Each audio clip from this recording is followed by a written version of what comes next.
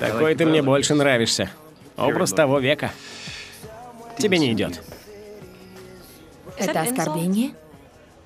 Вообще-то, Елена, это комплимент высшего уровня. Послушай, я знаю, Стефан беспокоится насчет нашей дружбы. Он тебе тоже что-то сказал?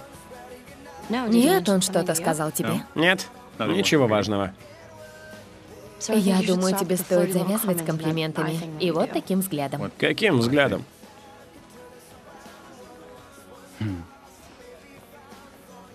Не заставляй меня пожалеть о нашей дружбе.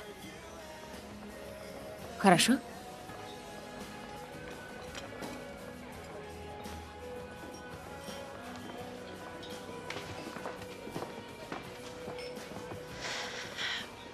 Я не верю, что мы не можем это исправить.